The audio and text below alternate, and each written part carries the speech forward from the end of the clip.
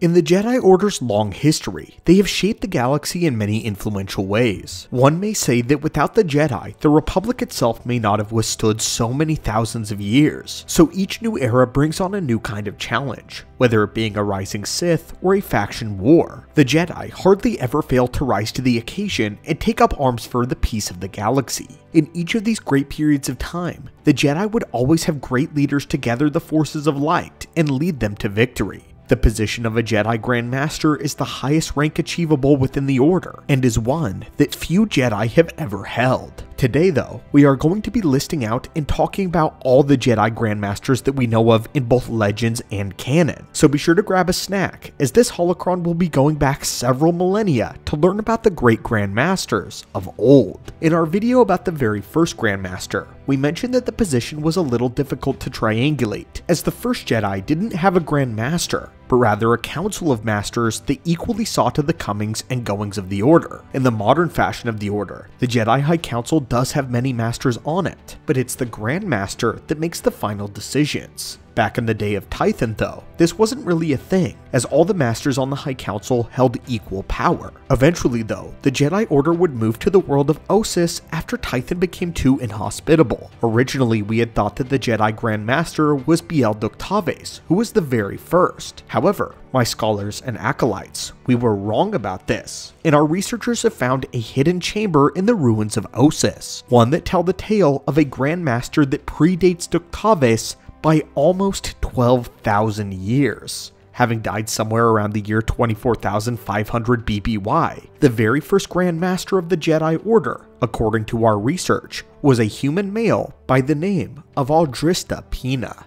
This particular Grand Master was known for his love of battle and led the Jedi Order against the legions of Lettow during the War of the First Great Schism. This being before the era of lightsabers, Master Pina instead used two force imbued katana like blades, swords embedded with emerald kyber crystals. Master Pina was a man who had an insatiable lust for combat, something that we don't typically see in Jedi Grand Masters. It was written that the Grand Master defeated the legions of Lettow and a man named Xendor in single combat extremely easily. Xendor was one of the first Dark Jedi in all of galactic history, and he was bested by the Grand Master. But the Grand Master was not done there, as he tracked down Xendor's lover, a Dark Jedi by the name of Arden Lyn, and engaged her with single combat as well. The fight was fierce, and resulted in one of his blades being shattered against the power of a talisman that Lyn was wearing. The shards of the Grand Master's blade ended up mortally wounding him, However, he refused to die until he made sure that all of those who were involved and all those that embraced the dark side were no more. Using the force technique known as Morichro, Pina caused all of Lyn's body functions to cease, causing her heart to stop entirely. This ultimately resulted in the death of the Grand Master though, although he made good on his promise and did stop the darkness from flourishing. Master Pina earns a place as Grand Master as he was a powerhouse in live combat and could clearly call upon highly advanced force techniques even when weakened. He was renowned for his skill, and it is appropriate that the first Jedi Grandmaster was a pure-hearted warrior full of strength. Much time in the history and lore would pass though before we get the next Grandmaster that we are aware of. Of course, Biel Ductavis. Biel Ductavis lived during what is known as the Pius Dea Crusades. These crusades were a series of conflicts that lasted a thousand years, and they were started by a human-centric religious sect that had violent, militaristic tendencies. The group was successful in getting one of their own by the name of Contispex I, appointed as the Supreme Chancellor. The Chancellor then launched the campaign. Having neutralized the Hutts, the sect unleashed a series of military crusades and inquisitions against rival alien species over the following hundreds of years. Every term, the Supreme Chancellor would be replaced with another of the Pius Dea, and would take the same name, and would continue their series of wars, harshly splitting the humans of the core worlds and the alien species of the Outer Rim apart. This continued all the way into Chancellor Contispex the 19th. This was finally put to an end when the Jedi got involved and conspired alongside a group of peacekeepers to cause a rift with the Pius Dea, which soon eventually toppled their rule, arresting the Chancellor after one final battle. After the Chancellor was tried and imprisoned on the planet of Kamas, the Jedi High Council installed Ductavis in the office of the Supreme Chancellor, holding both the Grand Master and the Supreme Chancellor titles, and served as the Grand Master of the Jedi Order still during his tenure. Leading both the Republic and the Jedi. Interestingly enough, we later found out that Ductavis wasn't the only Jedi Grand Master that also served in the office of the Supreme Chancellor, but we'll come to that later on in the video. The next Jedi Grand Master is one who truly deserves the title, as she led a truly legendary life. This was the Jedi Grand Master Nomi Sunrider. Nomi Sunrider served the Jedi Order during the time of the Freedon Nadd Uprising and the Great Sith War, as started of course by Exar Kun. Nomi fought in both of these wars, and about 10 years after the death of Exar, she would rise through the ranks and become the Grand Master. Nomi was responsible for rebuilding the Order after the damage was done by Exar Kun, especially after he destroyed the Great Library on Ossus. Despite all of her glorious accomplishments though, as her legend is still taught to Jedi Padawans today, Nomi Sunrider stood out just because of how massively powerful she was. Sunrider's sensitivity to the Force allowed her to become one of the most powerful and accomplished Jedi that had ever lived mastering battle meditation even to the point of using the light side to compel her enemies to kill one another. This to me is an absolute insane feat of power, as light side battle meditation usually only causes confusion and fear in the ranks of the enemies, while simultaneously bolstering the coordination and courage of one's allies. However, Nomi's battle meditation was so powerful that she could confuse the enemy so badly that they mistook their own ranks for the enemy and would fire upon one another. Nomi could also shatter Sith spells of commanding animals, and this caused the beast to become wildly confused and easy to slay. What's more, is Nomi could also use a force power known as Battle Mind, doing this to utterly destroy illusions cast by Sith magicians. Moreover, Grandmaster Sunrider could use Force Deflection and Tutaminis to absorb or reflect Force powers and blaster bolts, and even turn them back on the attackers, a feat that can only equate to have been done by an individual of the power of someone like Mace Windu. Nomi Sunrider was an absolute master of the Force light ability also, to the point where she was able to conjure bursts of entire walls of light energy. This she used to capture the spirit of Exar Kun, and this is a power we have only seen by one other individual in Grand Master Luke Skywalker.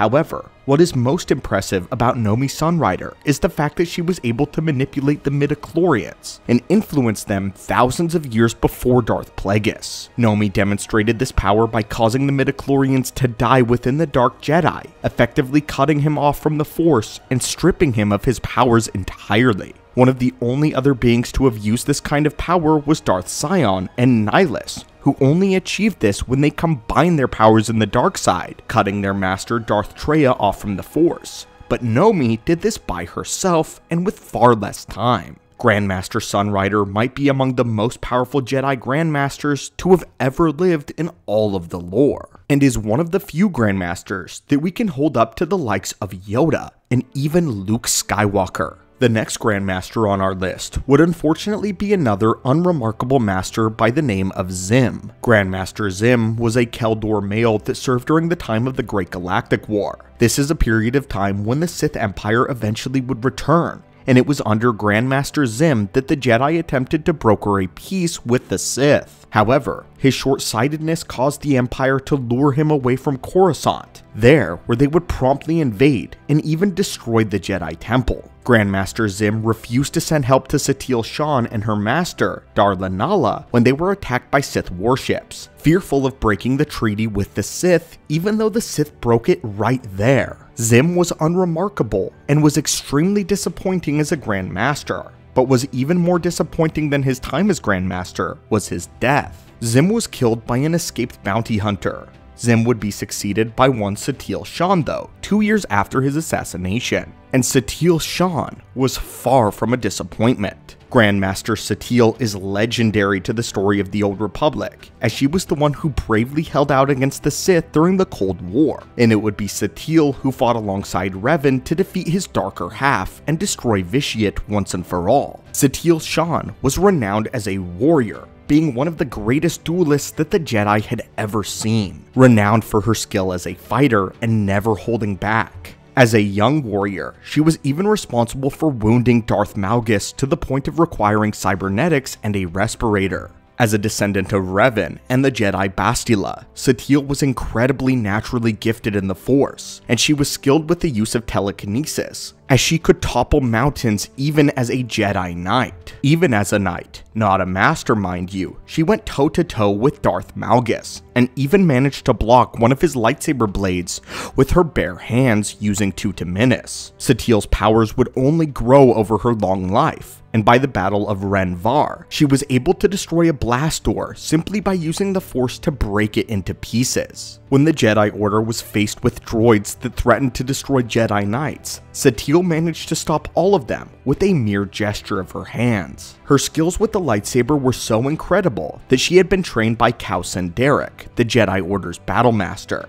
and she was able to hold her own against Darth Vindican and Malgus as a Padawan. And even though Malgus was the superior duelist, he was soon overwhelmed by Satele's raw power in the Force, and many have hypothesized that strength to strength in the Force alone Satiel was more powerful than Malgus. Moving on in the timeline, we have someone by the name of Grandmaster Ganara. Ganara, who served during the time of the New Sith Wars in the year 1035 BBY. While unfortunately a lot of the information we have on Grandmaster Ganara is very scarce, we do know that she was one of the only other Jedi Grandmasters to serve as Supreme Chancellor of the Old Republic, the same as Jedi Biel Ductavis did, putting her in a very difficult position, especially during this era, as she had to take care of the Sith from under the table due to the fact that as Chancellor, she couldn't publicly endorse attacks on the Sith Empire. Likely for the best, she would be the last Jedi to serve as a politician, and it was clear that as a Jedi, they were not able to fulfill their sworn duty while also trying to be more involved with the Senate directly and politics. Although we know very little on Grandmaster Ganara, it is likely that this insight saved a great many Jedi as well as political lives. Next in the timeline, we have a Grandmaster that many will be familiar with, and that is Grandmaster Fae Coven. Being an exceptionally influential Grandmaster, we did a holocron all about her, and many will recognize her as the author of the Jedi Path.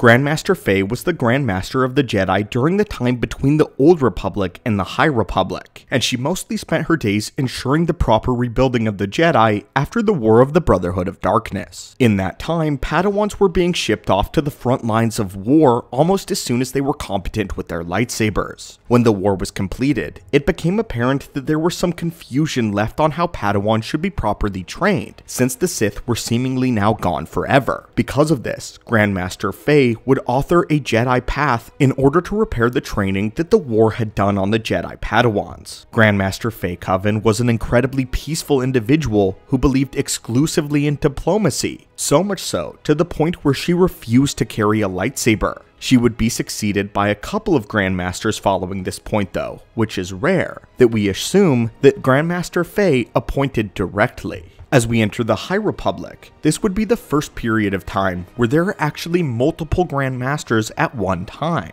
with the Grandmasters appointed being Pra-Tre Veter, Rai Ki Saka, Laru, and Grandmaster Yoda. We are grouping all of these four together because they served as co-grandmasters during the High Republic. Indeed, during this time, there was not one, but four who shared the title of Grand Master simultaneously. Unfortunately, and quite frustratingly so, we have very little information on these Grand Masters, of course besides Yoda. All we really know is that Pra-Tre Veter was a Tarnab male who aided during the hyperspace crisis. Rai Kisaka was a human, and Laru was an Anx. Grandmaster Laru was extremely peaceful and insisted that the Jedi remain distant from the galactic conflicts involving political wars and the Republic, keeping them far away from the Senate. Yoda would remain as the Jedi Grand Master mostly by the order of elimination following this point though, as he was the last living member of this small co-op group of Grand Masters that would follow into the Republic Classic era.